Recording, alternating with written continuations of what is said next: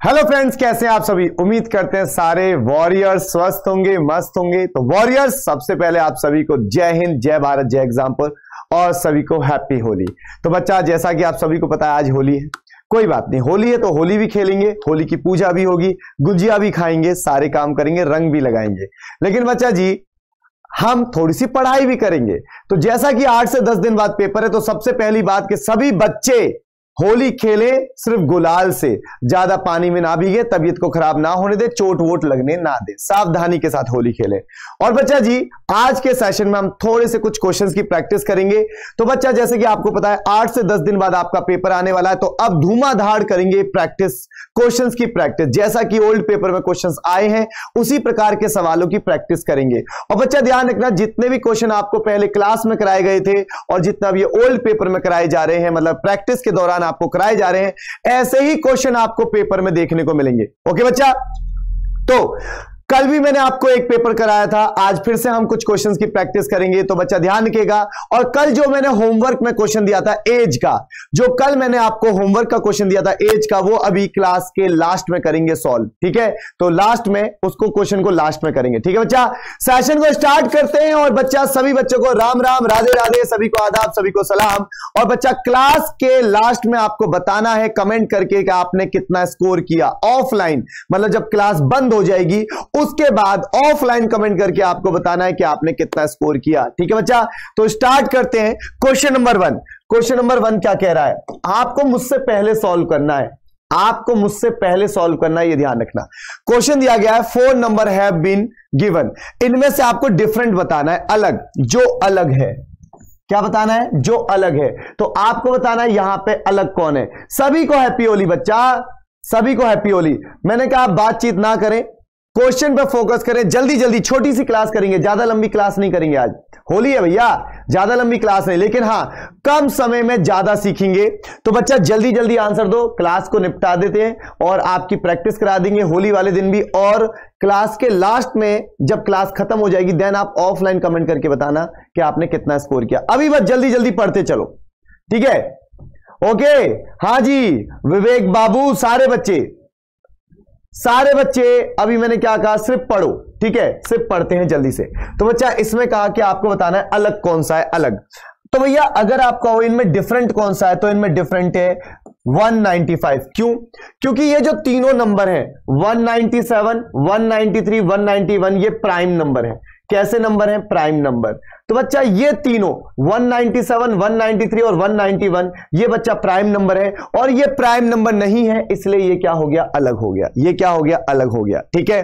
और बच्चा एक बात ध्यान रखना। देखो अब देखो पेपर नज़दीक आ गया तो हम ओल्ड पेपर की प्रैक्टिस कर रहे हैं। लेकिन कुछ बच्चे ऐसे होंगे जो ये सोचेंगे, सर, हमारा ये चैप्टर अच्छे से रेडी नहीं है। कोई आप बता दो कहाँ से रेडी करें? तो बच्चा, अगर मैं आप रीजनिंग की बात करें तो रीजनिंग में आपको बता देता हूँ कि रीजनिंग में बच्चा, मैंने आपके लिए एक फेसबुक पेज बना दिया है रीजनिंग बाय ब्रजेंद्र सर वहाँ पर जाके आपको हर चैप्टर की प्ले मिल जाएगी, ठीक है? तो आप सर्च कर लेना फेसबुक पे जाके रीजनिंग बाय ब्रजेंद्र सर वहाँ पर आपको सारे चैप्टर्स की प्लेलिस्ट मिल जाएगी। डिटेल में आपको एक्सप्लेनेशन मिल जाएगा, आप पढ़ सकते हो। लेकिन अब हम क्लास में क्या करेंगे? ओल्ड पेपर की बात। अगला क्वेश्चन जल्दी से।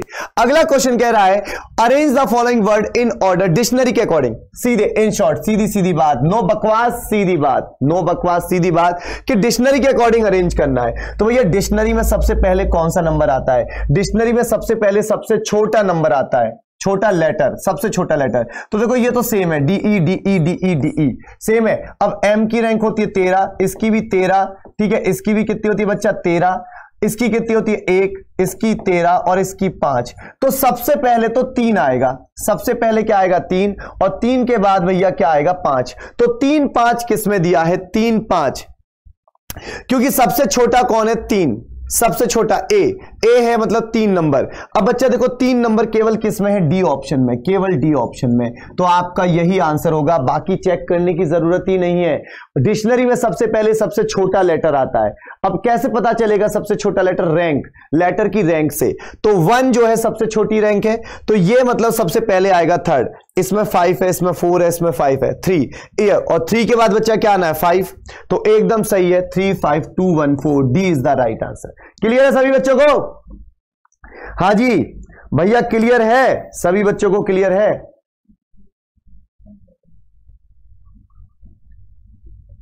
Arrange the following word in the order कुछ बच्चे कह रहे हैं five three D E D E O हो, बच्चा एक गड़बड़ हो गई, एक गड़बड़ हो गई। ध्यान से देखना हाँ आप सही कह रहे हो, एक गड़बड़ हो गई। एक बच्चा कह रहा है, बच्चा आप एकदम सही कह रहे हो, बात सुन लो, थोड़ी सी गड़बड़ हो गई, क्या गड़बड़ हुई? यहाँ पे डी ए है। हमने ध्यान नहीं दिया। ये डीई e है, ये भी डीई e है, ये भी डीई e है डीई लेकिन ये डी ए आ रहा है। यहाँ पे क्या आ रहा है? ए हमने ये ध्यान नहीं दिया। हमने इसको ई e समझ लिया। तो बच्चा, इसकी रैंक देखो कितनी है। पाँच पाँच पाँच पाँच। लेकिन इसकी क्या है? एक। यानी सबसे पहले आएगा पाँच। सबसे पहले पाँच। तो इसमें तो चार आ रहा है। यह आंसर नहीं होगा। इसमें तीन आ रहा है। यह आंसर नहीं होगा। तो आंसर होगा या तो ये या ये, क्योंकि इन दोनों में पाँच और पाँच आ रहा है। तो बच्चा जी, सबसे पहले तो आया फाइव वाला। सबसे पहले क्या आया बच्चा? फाइव वाला। इसके बाद क्या आएगा? अब देखो, पाँच पाँच पाँच पाँच, ये कितने में चार वर्ड्स के अंदर है। तो अब पाँच के बाद अगला देखें तो क्या आ रहा है बच्चा? तेरह, यहाँ भी तेरह, ये आ रहा है एक ये आ रहा है तेरह और ये आ रहा है, ये तो हो ही गया, ये तो नंबर वन पे आ ही गया। ये जो पाँच है, ये तो नंबर वन पे आ ही गया, ठीक है? तो तेरह तेरह, एक, अब छोटा कौन है? तेरह छोटा है या वन छोटा है? वन छोटा है। तो पाँच के बाद बच्चा क्या आएगा? तीन। अब देखो, इसमें भी पाँच, तीन है, इसमें भी पाँच, तीन है। अब अगला, तेरह तेरह वाले तीन है, ठीक है? क्योंकि ये तो अब हो चुका है, ये भी हो चुका है सेट ये सबसे पहले आएगा, ये सेकंड नंबर पे आएगा। अब बचते हैं ये तीनों। तो यहाँ पे क्या बच्चा? पाँच, यहाँ पे है एक पाँच, एक और ये है पंद्रह। तो सबसे पहले क्या आएगा? एक वाला। यानी दो आएगा, उसके बाद आएगा वन और उसके बाद आएगा भैया फोर। ठीक है, पंद्रह। तो five three two one four यानी A option is the right answer A option ठीक है बच्चा? A option is the right answer अगला सवाल।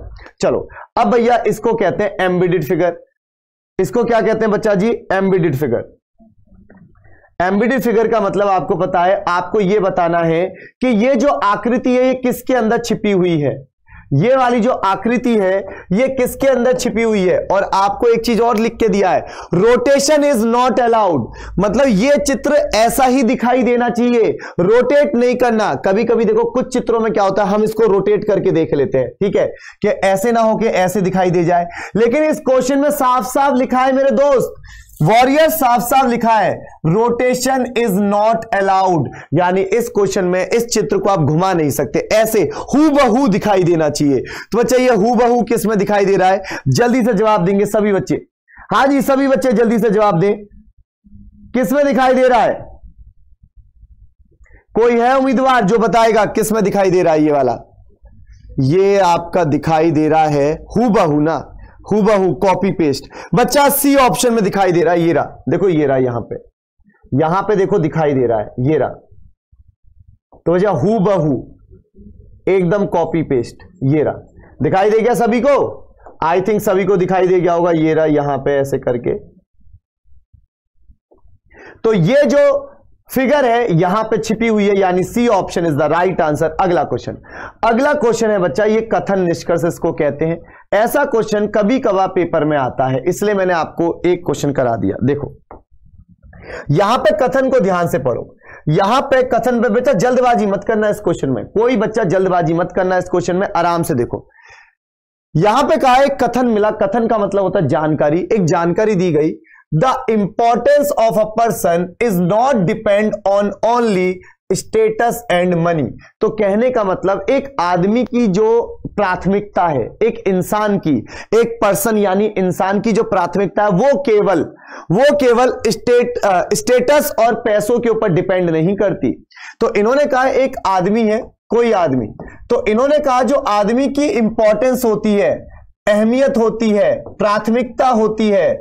आदमी की जो बच्चा इंपॉर्टेंस होती है तो सवाल में साफ़ साफ़ कहा गया है कि जो आदमी की इंपॉर्टेंस होती है इंपॉर्टेंस एक इंसान की जो इंपॉर्टेंस होती है, वो केवल वो केवल ओनली वो केवल स्टेटस और मनी के ऊपर डिपेंड नहीं करती। ओनली इनके ऊपर डिपेंड नहीं करती, केवल इनके ऊपर नहीं करती। ठीक है तो सवाल में यह कहा है कि एक आदमी की जो इंपॉर्टेंस है, वो केवल स्टेटस और मनी के ऊपर डिपेंड नहीं करती। ये आपको जानकारी दी गई। अब इस जानकारी के आधार पर आप क्या निष्कर्ष निकाल सकते हो? इस जानकारी के आधार पर आप क्या सॉल्यूशन निकाल सकते हो? Number one the goal of most of people is just to acquire money क्या आपको इस कथन से यह समझ में आया कि अधिकतर लोगों का गोल टारगेट यही रहता है, बस पैसा कमाओ। ना। इस वाली बात से ये वाली बात सिद्ध नहीं होती। इस वाली बात से ये वाली बात सिद्ध नहीं होती। ठीक है? ये सॉल्यूशन नहीं है। क्या इस बात का ये सॉल्यूशन है कि दुनिया के अधिकतर लोग पैसा कमाना चाहते हैं? पैसे के पीछे भाग रहे ना। दूसरा there are some factor other मतलब यहाँ पे कुछ और फैक्टर भी होते हैं स्टेटस और मनी को छोड़ के तो जो इंसान की इंपॉर्टेंस को बताते हैं, एकदम सही बात है। इस वाली बात से यही पता चल रहा है, क्योंकि इसने कहा कि एक आदमी की इंपॉर्टेंस केवल स्टेटस और पैसे से पता नहीं चलती। तो इसका मतलब यहाँ पे कुछ और फैक्टर भी है some factor other some factors other than status and money which contribute to the importance of a person एकदम सही बात है। इस वाली बात से ये वाली बात समझ में आती है। तो आंसर होगा C only conclusion second follow answer यही होगा ना? ओनली कंक्लूजन सेकंड फॉलो हाँ जी क्लियर है सभी को? हाँ तो सभी बच्चों को क्लियर है।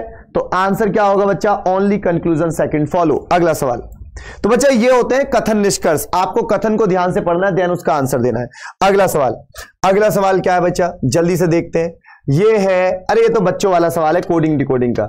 बस कोडिंग डिकोडिंग को थोड़ा अलग तरीके से दे दिया गया है। आपसे क्वेश्चन कोड पूछा गया किसका? Abundance A B U N D A N C E इसका आपसे कोड पूछा गया है। A B U N D A N C E अब आपको यहाँ पे कोड दे रखे हैं। In a certain code language U is written as A तो यू की जगह आप क्या लिख दोगे? ए क्योंकि इन्होंने कहा है कि U is written as A फिर कहा ए एस जी तो ए की जगह क्या लिख दोगे? जी तो ए की जगह जी ए की जगह जी ठीक है? उसके बाद भैया डी की जगह लिखना है आई तो डी की जगह लिख दोगे? आई एन की जगह क्या लिखना है? टी तो एन का है एन की जगह क्या आ जाएगा? टी उसके बाद बी की जगह लिखना है आर तो बी की जगह लिख दोगे आर ठीक है? और उसके बाद भैया ई e की जगह लिखना है डी तो ई e की जगह आपने लिखा डी और सी सी की जगह आपको लिखना है यू तो भैया ये हो गया आपका answer. G R A T किसके अंदर है? जी आर ए टी इसमें नहीं है। इसमें आ रहा है जी आर ए टी इसमें भी आ रहा है और इसमें भी आ रहा है। G R A T T के बाद आएगा आई जी तो आई जी इसमें तो नहीं है। इसमें आ रहा है I G T U D तो यानी D option is the right answer तो अच्छा ये बड़ा एक सिंपल सा क्वेश्चन है कोडिंग डिकोडिंग का। एक सिंपल सा क्वेश्चन है। आपको एक वर्ड दिया और हर लेटर का कोड दे दिया अलग अलग हर लेटर का कोड दे दिया, बस आपको देख के छापना है और कुछ नहीं करना। अगला सवाल। अगला सवाल बच्चा, फिर से ये किसका है? कोडिंग डिकोडिंग का है। फिर से ये वाला सवाल भी बच्चा कोडिंग डिकोडिंग का है। ठीक है? तो जल्दी से करो, सभी बच्चों को दिखाई तो दे ही रहा होगा। यहाँ पे भैया आपको दिया है माउंटेन का code mountain M O U N T A I N सभी बच्चों को मुझसे पहले करना है, मुझसे पहले, क्योंकि मुझे तो समझाना भी होता है, आपको मुझसे पहले करना है। माउंटेन माउंटेन का कोड क्या दिया है? माउंटेन का कोड दिया है चार छ तीन, पाँच, दो, एक, नौ, पाँच। ये कैसे आया? ये कैसे आया? अगर बच्चा देखो, इसकी रैंक होती है तेरह। तो अगर मैं इसको सिंगल डिजिट में बदल दूँ, किसमें बदल दूँ बच्चा? सिंगल डिजिट सिंगल डिजिट का मतलब एक नंबर में बदल दूँ।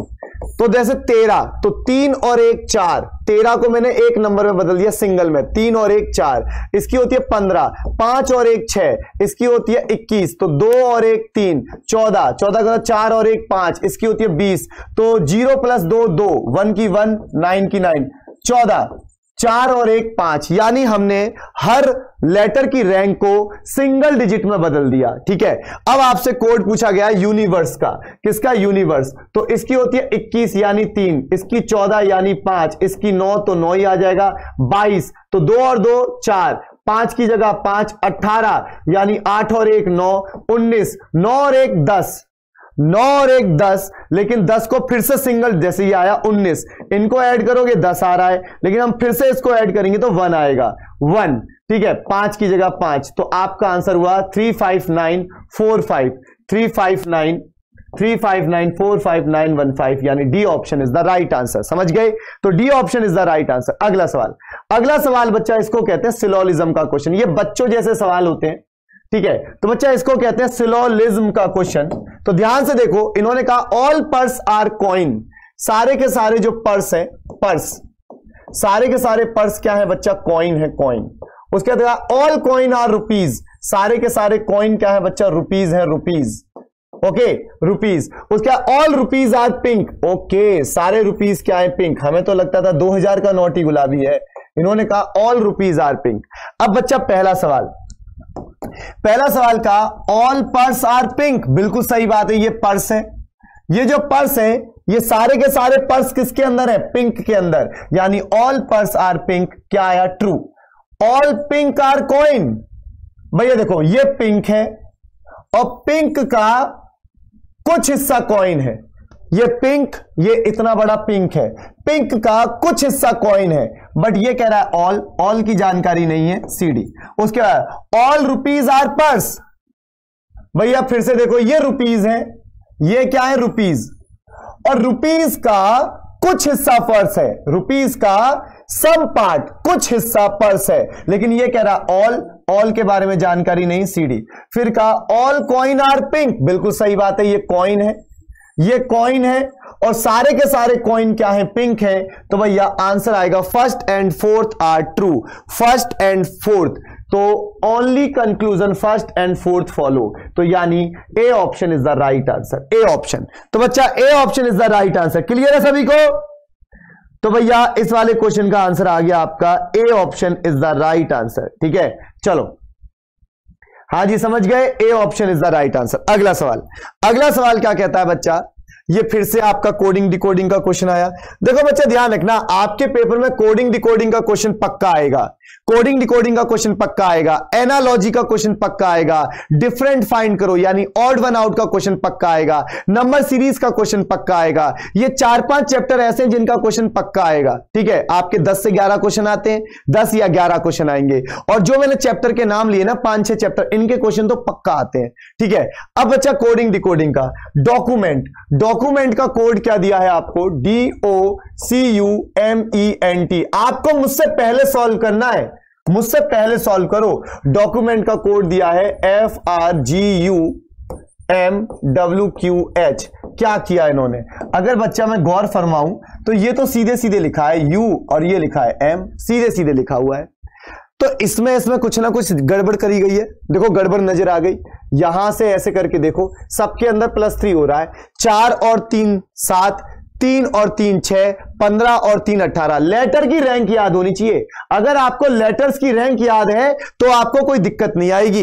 वैसे यहाँ भी देखो, पाँच और तीन आठ, बीस और तीन तेईस, चौदह और तीन सत्रह। तो सबके अंदर क्या हो रहा है? प्लस थ्री तो आपसे कोड पूछा है, ये। अब जो भी लिखा है भैया तो सी और ई तो अपनी जगह पे आएँगे। सी और ई अब यहाँ पे 18 और तीन 21 18 तीन 21 16 और तीन 19 और पाँच और तीन आठ। U H U H S यहाँ भी नौ और तीन बारह, पाँच और तीन आठ, बाईस और तीन पच्चीस। तो ये आपका आंसर आना चाहिए। तो U H C L Y B B option देखो। U H S C E H Y L यानी B option is the right answer अगला सवाल। अगला सवाल बच्चा इस क्वेश्चन में क्या कहा, कहा जा रहा है? ध्यान से देखते हैं। बच्चा इस क्वेश्चन में कह रहा है ये फिर से ये एनालॉजी का क्वेश्चन है समानताएँ समानताएँ वाला। इन्होंने कहा ये जो वर्ड दिया है प्लेजर प्लेजर का मतलब आपको दिया है जॉय प्लेजर का मतलब एक तरह से खुशी प्लेजर का मतलब खुशी। देखो यहाँ दिया है खुशी। खुशी का जो संबंध दिया है खुशी का मतलब दिया जॉय तो आपसे पूछा ठीक है? तो यहाँ पे आपसे पूछा, ये डिलीजेंट किससे रिलेट करेगा? अब आपको पहले पता होना चाहिए डिलीजेंट का मतलब क्या होता है? डिलीजेंट का मतलब होता है, जैसे कोई आदमी अपना काम कर रहा है, बहुत ही निष्ठा के साथ अपना काम करता है, बहुत केयरफुली बहुत ध्यानपूर्वक अपना काम करता है डेडिकेशन के साथ अपना काम करता है तो उसी को कहते हैं डिलीजेंट जैसे अगर आप अपनी पढ़ाई पढ़ाई आपका एक काम है, अगर आप अपने पढ़ाई को बहुत डेडिकेशन के साथ कहते हो, करते हो, अगर आप अपनी पढ़ाई को बहुत ज़्यादा डेडिकेशन के साथ केयरफुली केयरफुली करते हो तो हम कहेंगे डेलीजेंट अब डेलीजेंट का सिमिलर वर्ड क्या होगा? मेहनती.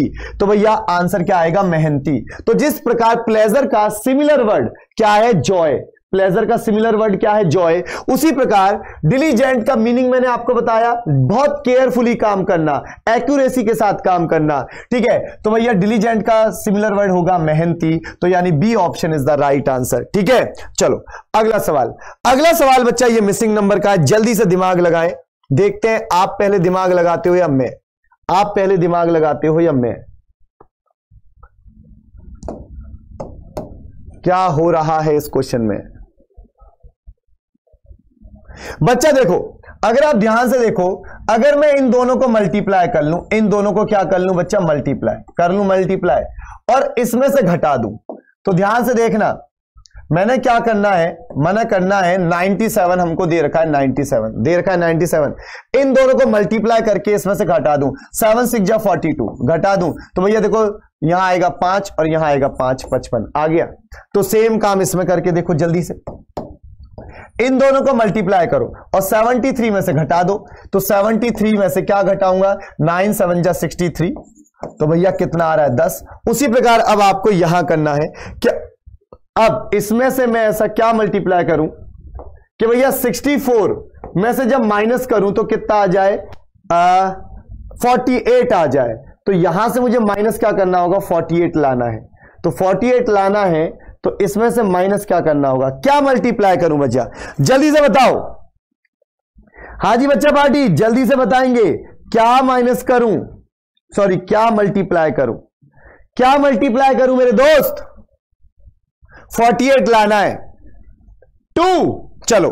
बच्चा कहता है टू टू को ट्राई करते हैं, अभी कंफर्मेशन नहीं देंगे, यहाँ पे लिखा हमने टू अगर टू को लिखते हैं तो आठ दूनी कितना हो जाता है बच्चा? आठ दूनी होता है सोलह। अगर यहाँ पे से सोलह घटाता हूँ तो चौदह में से छह गया तो भैया चौदह में से जब छह जाता है तो आठ आएगा, पाँच। सही है, एकदम सही है। तो यहाँ पे क्या आएगा? टू, यानी ए ऑप्शन। अगला सवाल। अगला सवाल करते हैं बच्चा। देखो भैया, आप डिफेंस में जाना चाहते हो तो आपको मैप की नॉलेज होनी चाहिए, और ये क्वेश्चन तो मैप के ऊपर डिपेंड है। आपको बच्चा इनको लॉजिकल सीक्वेंस में अरेंज करना है लॉजिकल सीक्वेंस अगर आप लोग क्लास लगाते हो मेरी तो मैंने आपको ये क्वेश्चन कराया था लॉजिकल सीक्वेंस कि लॉजिकल सीक्वेंस में अरेंज करना है तो बच्चा देखो लॉजिकल सीक्वेंस तब अरेंज करोगे जब आपको नॉलेज होगी। लॉजिकल सीक्वेंस में कब अरेंज कर पाओगे? जब आपको क्या होगी बच्चा? नॉलेज होगी। नॉलेज होगी तभी तो कर पाओगे। यहाँ पे कहा है arrange arrange in a clockwise manner starting from north of India's map तो जब तक आपको इंडिया के मैप की नॉलेज नहीं होगी, तब तक आप नहीं कर सकते। तो चलो इस क्वेश्चन को मैं बता देता हूँ। तो इन्होंने कहा arrange in a clockwise manner starting from north of north on India map तो इंडिया के मैप पर सबसे ज़्यादा नॉर्थ में कौन पाया जाता है? लद्दाख। तो नंबर वन पे आएगा लद्दाख। ठीक है? नंबर वन तो वन पे तो ये भी है, ये भी है। अब, लद्दाख के बाद अगर मैं अब नॉर्थ साइड से क्लॉकवाइज मूव करूँ नॉर्थ साइड से कैसे मूव करूँ? क्लॉकवाइज जैसे ये नॉर्थ होता है तो नॉर्थ से अगर मैं क्लॉक नॉर्थ पे क्या हुआ? लद्दाख। अब क्लॉकवाइज मूव करूँगा मैप में मैप में, जो इंडिया का मैप है। तो उसके बाद आएगा बच्चा उड़ीसा। लद्दाख के बाद क्या आता चाहिए? उड़ीसा। तो लद्दाख के बाद आया बच्चा उड़ीसा। तो नंबर टू पे उड़ीसा, यानी वन के बाद फाइव यहाँ तो वन के बाद फोर है, ये गलत हो गया। यहाँ ये भी गलत। अब इन दोनों में से एक आंसर होगा। लद्दाख के बाद उड़ीसा। उड़ीसा के बाद बच्चा आना चाहिए पौंडीचेरी अगर मैं क्लॉकवाइज मूव करूँगा पौंडीचेरी तो वन फाइव थ्री, यानी C option is the right answer C option तो भैया, लद्दाख लद्दाख के बाद उड़ीसा उड़ीसा के बाद पौंडीचेरी फिर आता है गोवा, फिर आता है पंजाब। तो बच्चा, यहाँ पे आपको मैप की नॉलेज होनी चाहिए थी। ठीक है, अगला सवाल। अगला सवाल, ओहो, ये भी खतरनाक। जब तक आपको यहाँ पे मीनिंग नहीं पता होगा, आप नहीं कर पाओगे। जब तक आपको मीनिंग नहीं पता होगा, नहीं कर पाओगे। यहाँ पे जैसा रिलेशन इन दोनों के बीच में है, वैसा ही यहाँ पे फाइंड करना है। तो पहले ये बताओ, ये ये गालोप हॉर्स यानी सरपट घोड़ा, इसका मतलब क्या है? जब घोड़ा बहुत तेज दौड़ता है तो उसको कहते हैं सरपट। तो जब घोड़ा बहुत तेज दौड़ता है, इस कैटेगरी को बच्चा, हम कहते हैं सरपट, ठीक है? तो ये बात ध्यान रखना, जब घोड़ा बहुत तेज दौड़ता है तो उसको हम क्या कहते हैं बच्चा, सरपट? क्या कहते हैं? सरपट, ठीक है जी?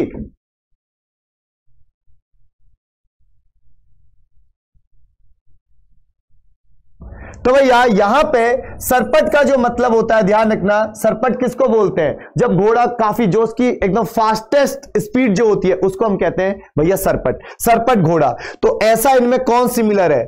हाथी ना, पक्षी, कंगारू ना, रन, शेर ना। क्या आएगा? ए ऑप्शन स्कैम्पर माउस जब माउस की एक मैकेनिकल पोजीशन होती है, जब वो बहुत तेज से दौड़ता है, उसको कहते हैं स्कैम्पल तो बच्चा, यहाँ पे स्कैम्पर स्कैम्पर क्या होता है? माउस की एक कैटेगरी होती है जब माउस बहुत मैकेनिकल पोजीशन में बहुत तेज़ी से दौड़ता है तो उसको कहते हैं बच्चा स्कैम्पर तो आंसर होगा ए ऑप्शन समझ गए? तो भैया, जैसे घोड़ा जब बहुत तेज दौड़ता है तो वो सरपट माना जाता है, सरपट दौड़ रहा है। ठीक है? ठीक है? तो माउस का क्या होता है? जब माउस बहुत तेज दौड़ता है तो उसको हम कहते हैं स्कैम्पर तो ये बात ध्यान रखना। चलो, अगला सवाल। अगला सवाल बच्चा जी क्या कह रहा है? अगला सवाल कह रहा है कि भैया इसकी मिरर इमेज बना दो। क्या बना दो? मिरर इमेज तो जल्दी से बच्चा जी मिरर इमेज बनाएँगे। जल्दी से क्या बनाएँगे? मिरर इमेज मिरर इमेज बनानी है। तो भैया यहाँ पे लगाया मिरर तो भैया डब्लू तो डब्लू दिखाई देगा।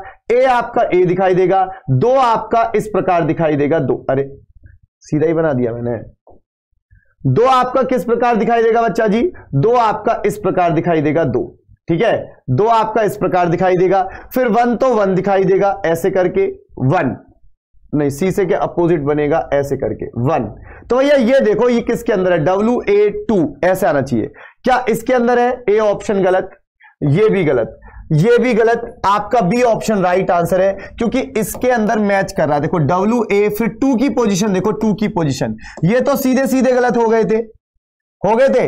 अब जैसे यहाँ भी डब्ल्यू ए है, यहाँ भी डब्ल्यू ए लेकिन ये टू सीधा है तो ये गलत हो गया। इसमें टू की पोजीशन मैच कर रही है, यानी B option is the right answer अगला सवाल। अगला सवाल, ओहो, फिर से बच्चा, ये नॉलेज बेस्ड क्वेश्चन है क्वेश्चन नंबर फोर्टीन आपको नॉलेज होगी बच्चा, आप तभी कर पाओगे। तो आपको नॉलेज होनी चाहिए बच्चा, ठीक है? अब देखो। इनमें से डिफरेंट बताना है, विषम। विषम का मतलब क्या होता है बच्चा? डिफरेंट आपको डिफरेंट बताना है। विषम का मतलब क्या होता है? डिफरेंट तो बच्चा, आपको बताना है यहाँ पे डिफरेंट कौन सा है। स्टेबल अब ये स्टेबल क्या होता है? डैन क्या होता है? ये इग्लू क्या होता है? कोट क्या होता है? बच्चा स्टेबल वो जगह होती है जहाँ पे घोड़ों को रखा जाता है। डैन वो जगह होती है जहाँ पे जंगली जानवरों को रखा जाता है। इग्लू वो जगह होती है जहाँ पे स्नो नहीं होता स्नो जब बर्फ़ गिरती है स्नो स्नो जहाँ पे स्नो को रखा जाता है तो भैया, ये होता है इग्लू यानी ये तीन क्या है, एक स्टोर होता है ना कि हमारा स्टोर रूम टाइप है। तो भैया, जहाँ स्टेबल किसको कहते हैं? जहाँ घोड़ों को रखा जाता है। डैन किसको कहते हैं? डैन किसको कहते हैं बच्चा? डैन कहते हैं जहाँ पे जंगली जानवर को रखा जाता है वाइल्ड एनिमल इग्लू कहते हैं जहाँ पे स्नो को रखा जाता है स्नो को। लेकिन कोट क्या है? कोट तो वो है जो हम लोगों ने बना रखा है कोट ठीक है? उसको कोट बोलते हैं। तो यहाँ किसी को रखा नहीं जाता। तो इनमें से डिफरेंट कौन है? कोट कोट क्या हुआ डिफरेंट क्योंकि ये तीनों क्या है? स्टोर करने की जगह। ये तीनों क्या है? स्टोर करने की जगह। और कोर्ट क्या है? न्यायालय है। समझ लो जहाँ पे हमारा न्याय होता है। तो ये इंसान का बनाया हुआ है। ठीक है, चलो। अगला। अगला बच्चा ये है आपकी अल्फ़ाबेट सीरीज़ जल्दी से इस क्वेश्चन को देखेंगे अल्फ़ाबेट सीरीज़ को। तो भैया, यहाँ पे अगर आप देखो फ़र्स्ट लेटर को चेक करो फ़र्स्ट लेटर सभी का फ़र्स्ट लेटर सबसे पहले फ़र्स्ट लेटर देखो, चार और दो छह छह और दो आठ आठ दो दस दस दो बारह बारह और दो चौदह। चौदह पे आता है एन तो भैया ये तो आंसर नहीं हो सकता। एन इसमें इसमें सब में है। भैया, यहाँ पे है छब्बीस। छब्बीस छब्बीस से आ रहा इक्कीस। छब्बीस से इक्कीस, यानी माइनस का पाँच। 21 से 16 माइनस का 5 16 से 11 माइनस का 5 11 से 6 माइनस का पाँच। जब 6 में से पाँच घटाओगे तो क्या बचेगा? एक, यानी ए एन ए तो ये भी गलत। तो एन ए एन ए दोनों में है। अब बच्चा चेक करो, एक। ये एक एक से चार यानी प्लस थ्री चार से सात यानी प्लस थ्री तो इस बार बच्चा क्या हो रहा है? प्लस थ्री हो रहा है। इस बार सभी में प्लस थ्री इसकी वन, इसकी फोर, प्लस थ्री, चार से सात, प्लस थ्री, सात से दस, प्लस थ्री, दस से तेरह, प्लस थ्री, तेरह और तीन, सोलह, यानी पी तो यानी D option is the right answer तो अगर हम बात करें, जैसे डी जेड ए है तो इसमें क्या हो रहा था बच्चा? प्लस टू प्लस टू चल रहा था। इसमें भैया आपका चल रहा था माइनस का फाइव और इसमें चल रहा था प्लस का थ्री समझ गए? माइनस का फाइव चल रहा था और यहाँ पर प्लस का थ्री चल रहा है। ठीक है? अगला सवाल देखते हैं बच्चा। अगला सवाल क्या कहते हैं? इनमें आपको फिर से डिफरेंट बताना है। बताओ बच्चा डिफरेंट चुनना है। जिस बच्चे को स्क्वायर क्यूब याद है, वो कर देगा। जिस बच्चे को स्क्वायर क्यूब याद है, वो झट से कर देगा। क्योंकि बच्चा देखो, तेरह का स्क्वायर क्या होता है नाना? ये तो नहीं हो रहा, तेरह। स्क्वायर नहीं अच्छा यहाँ पे तेरह से एक सौ बयासी। बच्चा देखो, यहाँ पे आपको टेबल्स अच्छे से याद होनी चाहिए। क्या याद होना चाहिए? टेबल्स अब जिस बच्चे को टेबल याद है, वो बच्चा इसको झट से कर देगा। ठीक है? बस शर्त यह है कि यहाँ पे बच्चा जी, आपको टेबल याद होनी चाहिए टेबल्स अब देखो, यहाँ पे क्या लॉजिक चल रहा है? अगर बच्चा यहाँ पे देखें तेरह का स्क्वायर होता है 169 लेकिन अगर मैं इस ए ऑप्शन को देखूँ कि तेरह में मैं चौदह का गुणा कर दूँ, तेरह इंटू चौदह तो यह आ रहा है 182 यहाँ पे बच्चा तेईस में किसका गुणा कर दूँ? 24 का। तेईस में जब 24 का गुणा करूँगा तो भैया आएगा पाँच आएगा पाँच तो तेरह में चौदह का किया, तेईस में चौबीस का किया। अब बच्चा 25 में किसका करूँगा? 26 का। 25 में जब 26 का गुणा करूँगा तो क्या आएगा? 650 लेकिन यहाँ भैया उल्टा हो रहा है, क्योंकि 18 का स्क्वायर 324 होता है। तो भैया 18 में 17 का गुणा करूँगा तो 306 तो यहाँ पे देखो 13 से बड़ी संख्या थी 13 से 14 23 से 24 25 से 26 या लेकिन 18 से 17 यानी यहाँ पे माइनस हुआ। तो बच्चा, यही डिफरेंट हुआ, क्योंकि इन तीनों का लॉजिक सेम आ रहा था। तेरह से बड़ी संख्या, तेईस से बड़ी संख्या, पच्चीस से बड़ी संख्या, ये अट्ठारह से छोटी हो गई। समझ गए? तो यही आपका आंसर होगा। अगला सवाल। अगला सवाल है बच्चा वेन डायग्राम का। वेन डायग्राम का क्वेश्चन है। ये आपको होमवर्क में देके जाऊँगा। ये आपको क्या दूँगा बच्चा होमवर्क ये आज की क्लास का आपका क्या रहेगा बच्चा? होमवर्क रहेगा होमवर्क आज की क्लास का होमवर्क रहेगा ये। ठीक है, अगला क्वेश्चन क्योंकि ये थोड़ा, जब तक आपको इन शब्दों की नॉलेज नहीं होगी ना, जब तक आप इस क्वेश्चन को नहीं कर पाओगे तो आराम से इस क्वेश्चन को घर बैठ के सॉल्व करना। अगला सवाल. अब अगला सवाल देखते हैं बच्चा. यहाँ पे मगरमच्छ सांप एनालॉजी का क्वेश्चन फिर से है एक और. मगरमच्छ और सांप, ये दोनों रेप्टाइल होते हैं. मगरमच्छ और सांप, दोनों क्या है? रेप्टाइल है. तो इगुआना, ये भी रेप्टाइल है. तो इसके साथ क्या आ जाएगा? गिरगिट। तो यहाँ पे आंसर क्या आएगा? गिरगिट। क्योंकि मेंढक तो रेप्टाइल नहीं है स्टारफिश रेप्टाइल नहीं है, और ये टोड भी रेप्टाइल नहीं है। तो बच्चा, मगरमच्छ क्या है? रेप्टाइल सांप भी क्या है? रेप्टाइल जो रेंगते हैं, जो रेंगते हैं। इगुआना भी क्या है? रेप्टाइल तो यहाँ भी रेप्टाइल आना चाहिए ना। तो मेंढक रेप्टाइल नहीं है स्टारफिश रेप्टाइल नहीं है टोड भी रेप्टाइल नहीं है। कौन रेप्टाइल है? गिरगिट। तो यानी गिरगिट इज़ द राइट आंसर अगला बच्चा ये है बच्चा डायरेक्शन का क्वेश्चन ये किसका क्वेश्चन है बच्चा? डायरेक्शन का. अगर आपको याद होगा डायरेक्शन का क्वेश्चन मैंने आपको ऐसे क्वेश्चन क्लास में कराए थे. अब इन्होंने कहा, Rohan is facing towards west यानी रोहन का चेहरा किधर है? वेस्ट की तरफ़ है. ठीक है, फिर वो टर्न करेगा क्लॉकवाइज एंटी क्लॉकवाइज मैंने कहा था क्लॉकवाइज को एक जगह जोड़ लेना तो ये 45 डिग्री क्लॉकवाइज यानी 45 डिग्री क्या हुआ? क्लॉकवाइज और टर्न 180 डिग्री एंटी क्लॉकवाइज तो एंटी क्लॉकवाइज क्या हो गया बच्चा? 180 डिग्री ठीक है, ये हुआ। अब पूछा कि उसका चेहरा किधर है? फेसिंग नाउ अब उसका चेहरा किधर है? तो बच्चा, मैंने आपको बताया था, इसको आपस में माइनस कर लोगे। एंटी क्लॉकवाइज और क्लॉकवाइज को आपस में माइनस कर लोगे। तो बच्चा, यहाँ पे कितना आने वाला है? तो 10 में से 5 गया 5 और ये आ जाएगा 135 ठीक है? अब 135 किधर घूमू? जिसकी संख्या बड़ी है। बड़ी संख्या किसकी है? एंटी क्लॉकवाइज यानी एंटी क्लॉकवाइज आपको 135 डिग्री घूमना है। एंटी क्लॉकवाइज तो एंटी क्लॉकवाइज ऐसे होगा। तो यहाँ तक 90 और 45 135 यानी चेहरा आ गया इस डायरेक्शन में। और ये जो डायरेक्शन होती है, इसको हम कहते हैं साउथ ईस्ट क्या कहते हैं? साउथ ईस्ट यानी जो आपका आंसर आना चाहिए, वो तो साउथ ईस्ट आना चाहिए, ऐसा तो दिया ही नहीं है। Rohan is facing towards west turn 45 degree clockwise again clockwise अच्छा दो बार है बच्चा। यहाँ पे हमने एक चीज़ नोट नहीं करी। 45 degree clockwise again clockwise and then turn तो 45 डिग्री क्लॉकवाइज दो बार घुमा है। कितनी बार घुमा बच्चा? दो बार। दो बार घुमा यहाँ पे। ये हमने नोट नहीं किया ढंग से। ठीक है?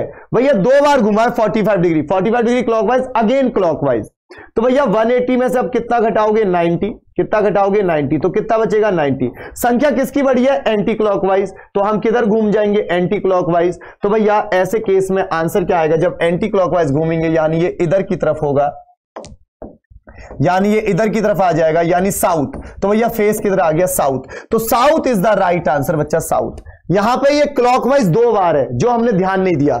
45 डिग्री क्लॉकवाइज अगेन क्लॉकवाइज तो बच्चा आंसर क्या आएगा? South south is the right answer अगला सवाल देखेंगे बच्चा, जल्दी से। अगला क्वेश्चन अब बच्चा, अब मैं आपको पहले कराता हूँ ये वाला क्वेश्चन इसको जल्दी से देखें सभी बच्चे। और बताएँ इस क्वेश्चन का आंसर क्या होगा। अब देखो, जिस बच्चे को स्क्वायर याद है, वो झट से कर देगा। जिसको स्क्वायर याद है, वो झट से कर देगा। देखो, ये 289 ये 64 ये 81 ये 168 यही डिफरेंट है। ये डिफरेंट क्यों है? देखो, अगर मैं चौतीस का आधा कर दूँ चौतीस का आधा करूँगा बच्चा, कितना आएगा? सत्रह। और सत्रह का स्क्वायर क्या होता है? टू एटी नाइन चौतीस का आधा करो। सत्रह सत्रह का स्क्वायर टू एटी नाइन सोलह का आधा कितना होता है? आठ। आठ का स्क्वायर चौसठ। भैया अट्ठारह का आधा क्या होता है? नौ। नौ का स्क्वायर एटी वन छब्बीस का आधा होता है? तेरह। तेरह का स्क्वायर होगा वन सिक्सटी नाइन ये यहाँ सही नहीं दिया तो यही हुआ बच्चा आपका डिफरेंट तो आपका आंसर क्या होगा? वन सिक्सटी नाइन ठीक है बच्चा जी? चलो तो बच्चा देखो, आपका होमवर्क वाला क्वेश्चन रह गया, क्योंकि समय हो गया है, होली है, स्वाद लेना होली के, ठीक है, मज़े लेना, रंग लगा लगाना ठीक है? और लेकिन अपनी सेहत का ध्यान रखना, क्योंकि आपका एग्ज़ाम है आठ से दस दिन बाद। ठीक है बच्चा? तो वॉरियर्स आपका होमवर्क रह गया होमवर्क वाला क्वेश्चन चलो वो कोई बात नहीं, होली के बाद करा देंगे।